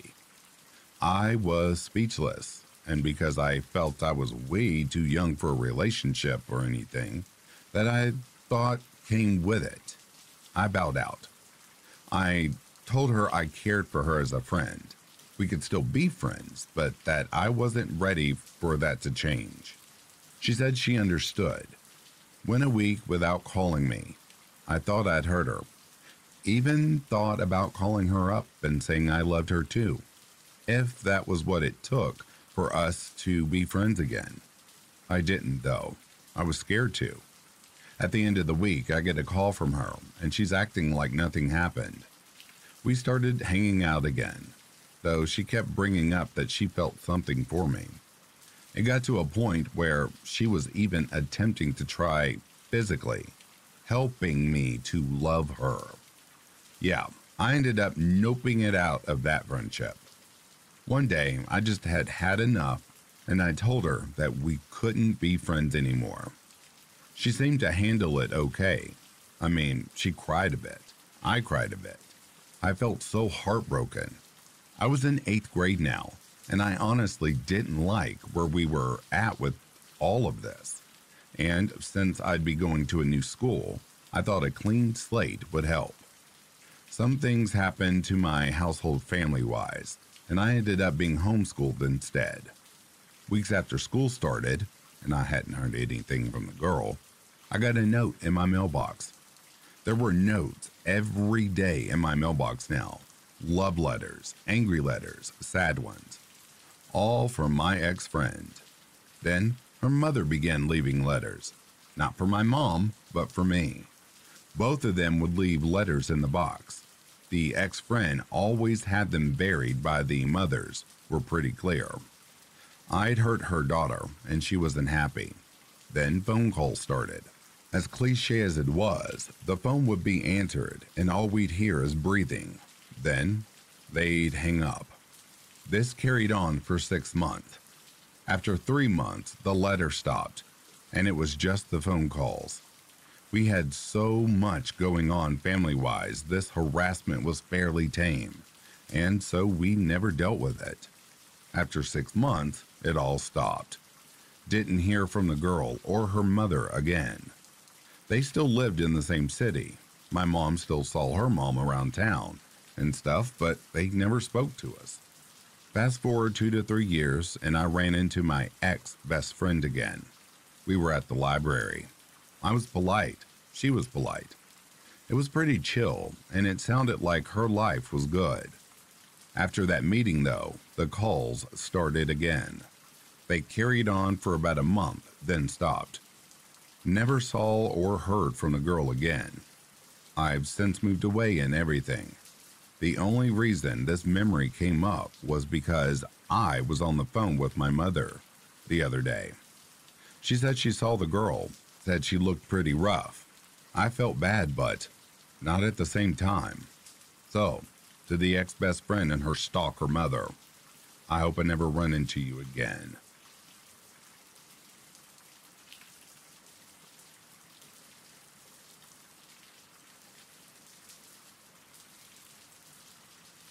Just to be clear, I don't seek help. It's just a collection of stories that happened throughout my life. Most of the stories coming while growing up on a very, very old farm. And I want to mention, we never felt unwanted or unwelcome or anything like that. When it happened on the farm, it was weird, sometimes scary when it happened. But afterwards, most of the time, it was okay. Most of the time. I will give you a little bit of a backstory so that you guys have a better idea how it works around here.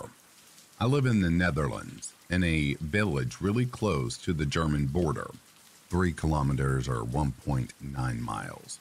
My family is really big, and most of them from my dad's side are all farmers and butchers. We grew up on a farm as well, even when my dad had his own butcher shop. The farm that my dad owned has been in my family almost 160 years and had a lot of bad things happened in its long past. Like in the 1920s, two people who worked as helpers on the farm got in a fistfight and one killed the other guy. We have the start of a really big bog on our property, and throughout living there, family members, as far as I know all children, drowned there in the early 1900s. During World War II, my family helped a lot of people through the same bog because it's really dangerous if you don't know the way. A lot of German soldiers, as well as normal Dutch people, drowned there. The Germans found out we were helping them and executed my granddad's dad and a couple of his brothers to make an example. A lot of stable fires, though. It's times you cannot explain, etc., etc.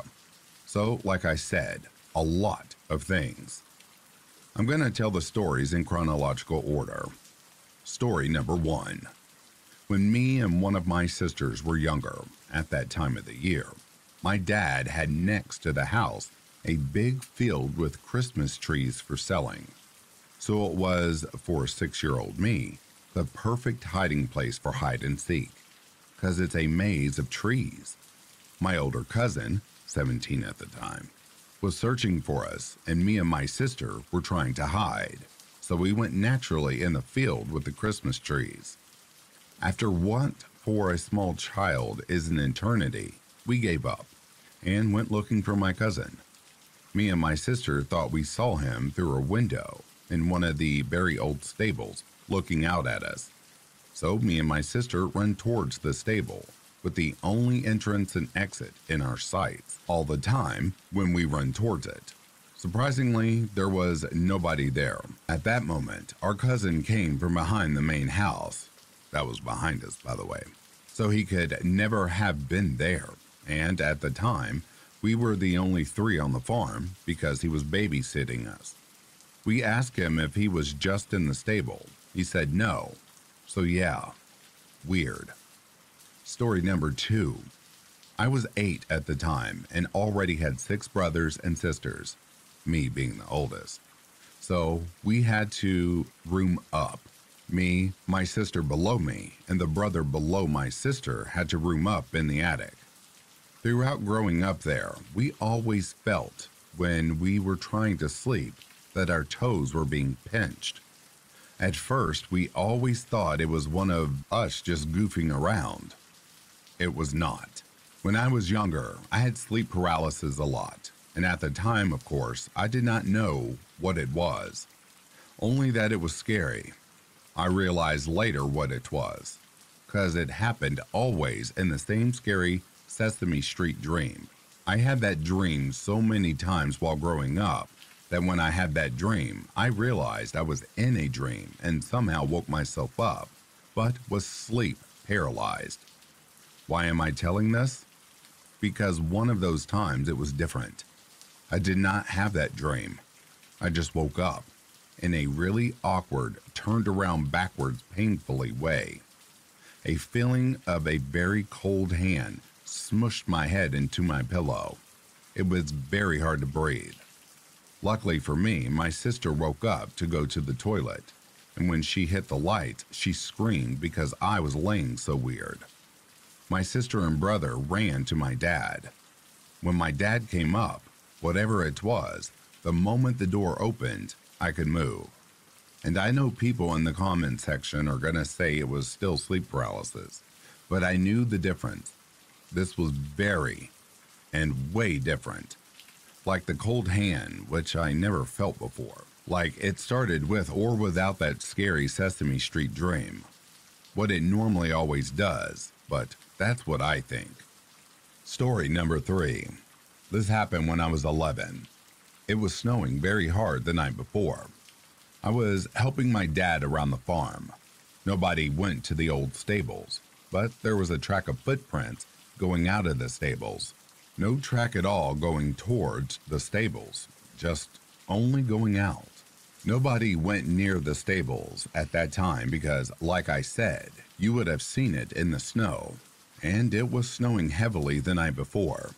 My dad and my mom found this so weird that my dad went to follow the tracks with me because the tracks were leading over a field towards the bog. I was very excited because me and my brothers and sisters are forbidden to go in there because it's very and really dangerous. We disobeyed my dad once and went in there, and my sister got stuck. She was chest deep in it, and I was holding her so she would not go in deeper. My brother ran to my dad.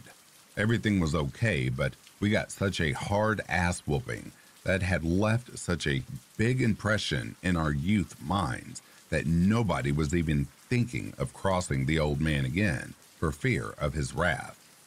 We followed it deep into the bog, and it led towards frozen water. Like just frozen enough to maybe hold a small animal. Definitely not a grown man or even a toddler. I don't know if spirits can leave tracks, but we don't know what it was. If there was a track towards the old stables and a track out, it would have made more sense. But it did not. My dad was pretty spooked by this. Story number four. I was 13. We were playing Mario Kart 64 on the Nintendo 64. My dad and my mom went to my dad's weekly game of billiards with his friends in the pub. We were old enough that we did not need a babysitter. Me and my sister below me were the babysitters. There was only one rule never open the front door or back door for anybody, even when they are knocking. Even if they are someone you know, don't open it. Just talk through the mailbox in the door. And when there was a problem, we had the phone number of the pub. This was before mobile phones were big. We were playing with four controllers and we switched regularly, so everybody was playing and everybody in the living room was focused so hard on the TV screen. It was like watching the World Cup, football, and soccer finals. I was on a very epic losing streak, and in the corner of my eyes, I saw a big black thing moving from left to right through the kitchen. I was so focused on getting at least one victory to get my brothers off my back, I did not look, only at the screen when my sister said, Who else saw that black thing in the kitchen? From the eight children there, five saw it, including me. Little old me did not want to call dad and fuck up and lose my babysitting privileges.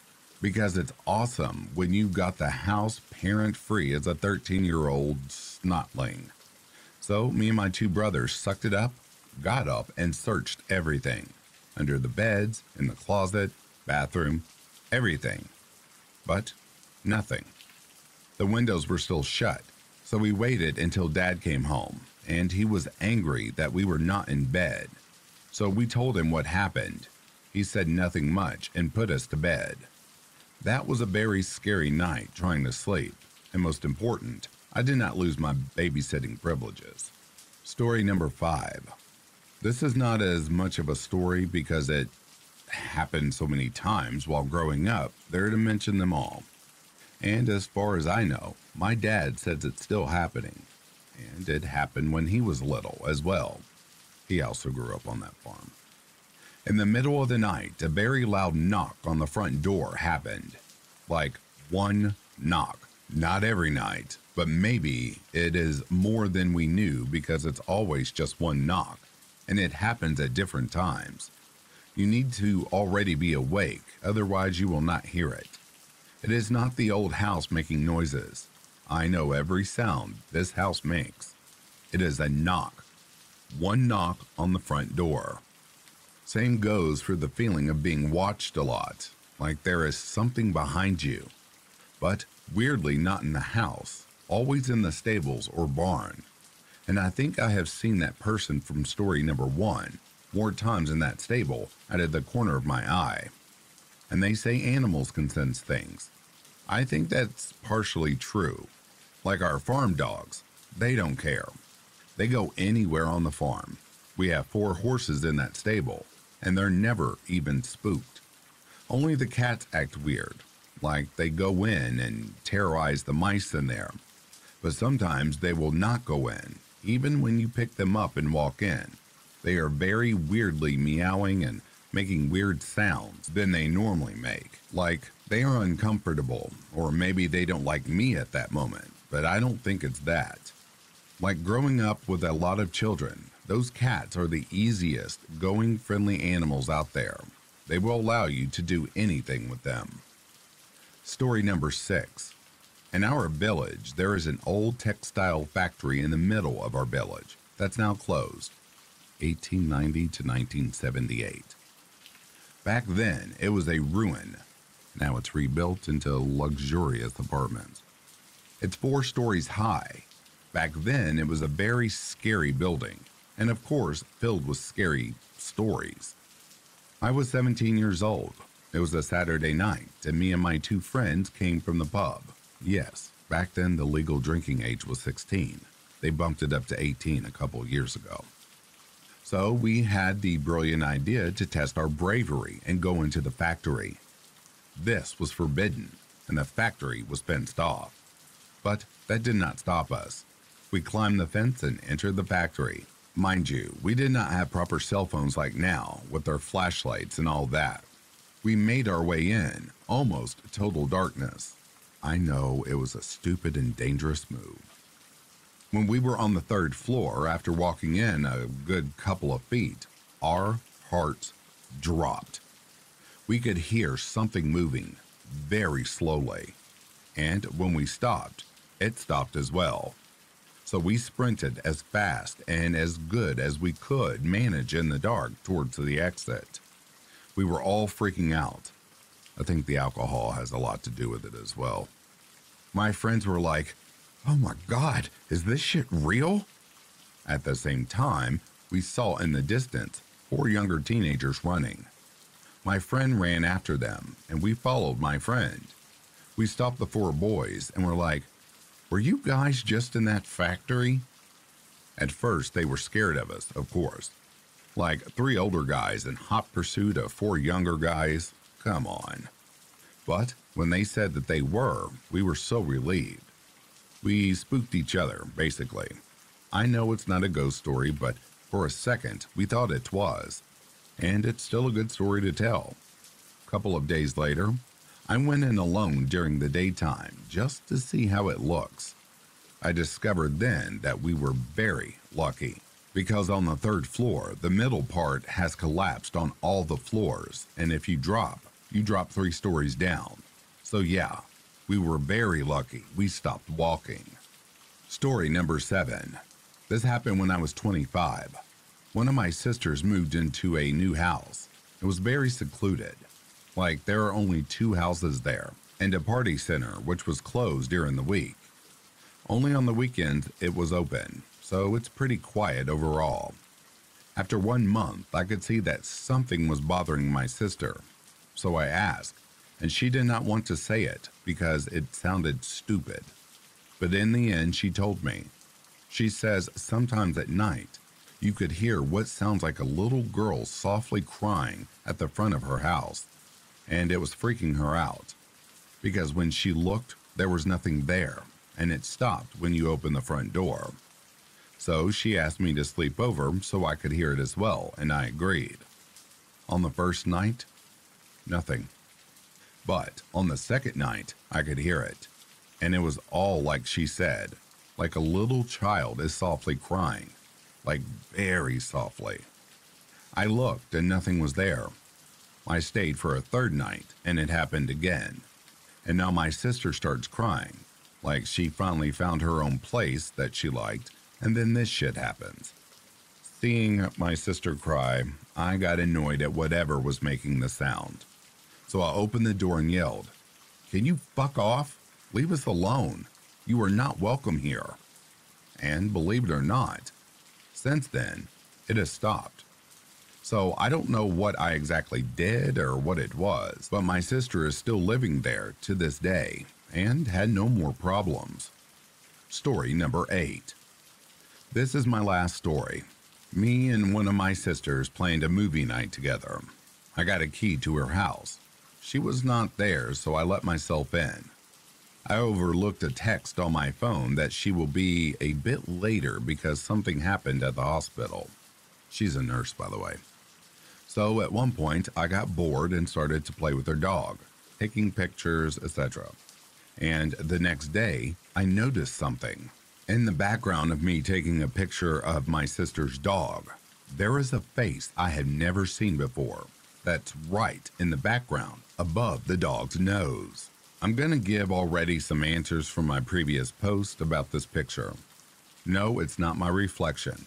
My face is much bigger, and I have a full grown beard at that time, and still have. In that room, there are no posters, paintings, or TV screen, or anything with a reflective surface in that direction. No, I do not have the original anymore. Only that one because I have a new PC. We are months down the road since I took that picture, but it is the same quality as it was on my old PC. And no, it's not the same sister house as in story number 7. Oh, here's an edit to my story. People have been asking what my scary dream was about, so here you go. I'm at a party in a garden. All of the Sesame Street people are there. At one point, I need to go inside the house, and when I try to go out, the door's locked and nobody hears me. At that point, random notes are left with chores on them. But the weird thing is, they are drawings, like clean the toilet, and after I finished it, the next note was there. This goes on for a while, and I do them all, while at the same time I am scared and feeling that someone is watching me. The last thing I always need to do is clean the kitchen and when finished, I go to the living room and Cookie Monster reveals himself. That's now everything, and it's all nice and clean. Then he can go kill me, because his secret recipe for his cookies are children's bones. Then he attacks me and kills me. Then I wake up, like a normal wake up, without the sleep paralysis. Later, when I had that dream so many times, when I enter the house and sing the first notes, I am realizing that I am dreaming and somehow woke myself up. And then the sleep paralysis starts, with the exception of that one time.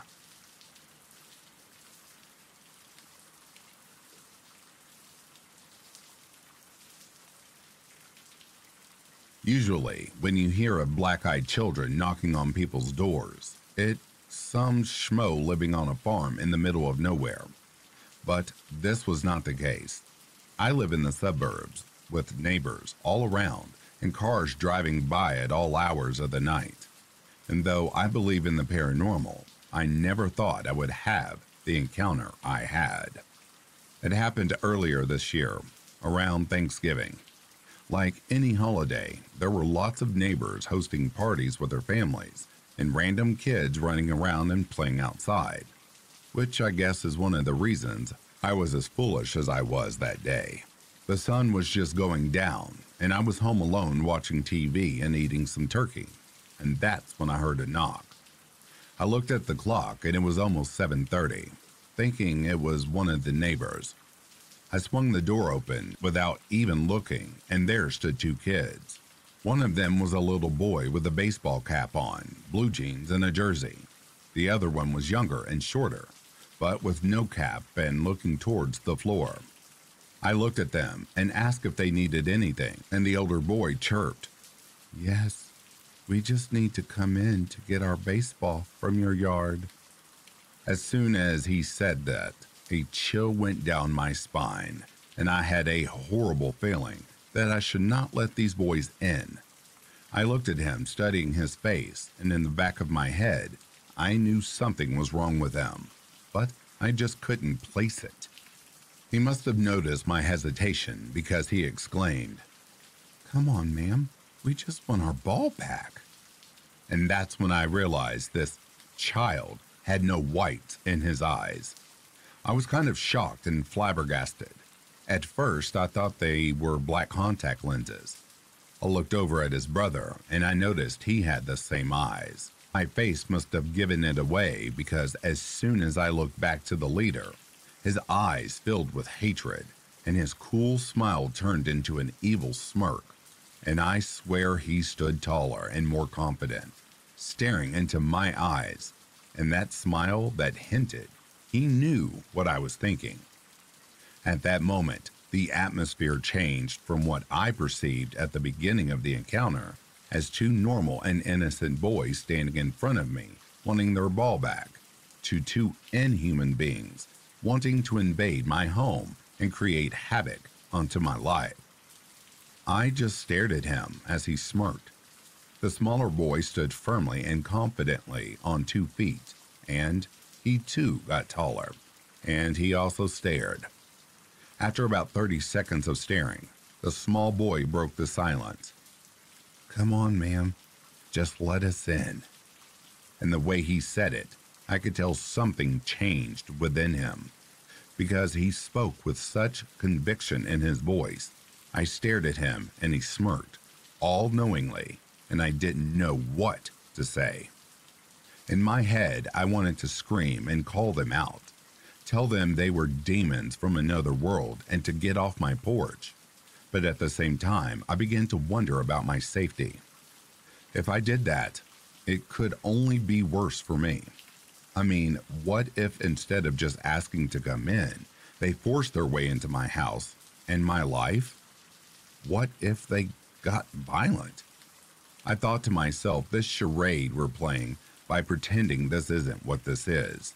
If I don't play this game anymore, it could only be detrimental to my own health and well being.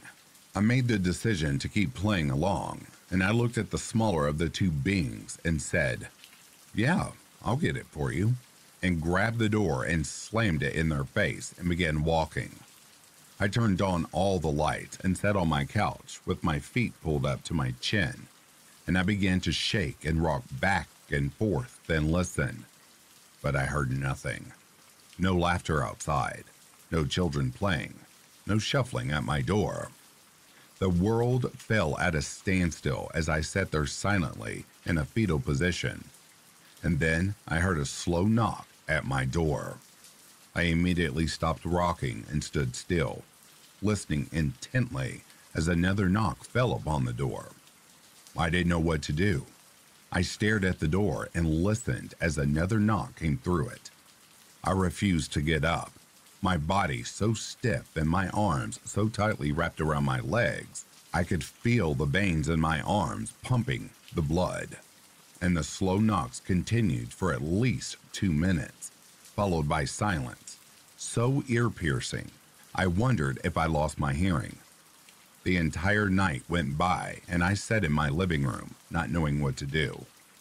I don't know when I dozed off, but I woke up at around 2 a.m. and the lights were off in my house. The TV screen that was once on Comedy Central now filled with black and white static.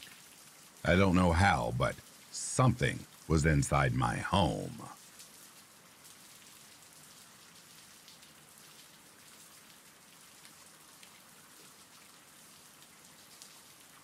And that, dear listeners, brings a close to Goodbye 2023 Part 2. I will be finishing the other two hours and getting that published as soon as possible. I'd like to take a moment and give a shout out to the reform members of Back to Ashes. Tina Mead, Colt Stone Wolf, Interscare Wifey, Les Crispin, Tammy Slayton, CAG, Denise S., Samantha Place, Stephanie McLaren, Corpse Lover, Normie DW, Christy Elias, Cindy Cleveland, and Patty Sneeze. If you are sleeping, I hope Slumberland is treating you comfortably. If you are awake, I hope you've enjoyed this collection. Until next time, please take care of yourselves. I'll be reading to you soon. Have yourself a good morning, a good afternoon, or good evening. Peace, love, and light to you all.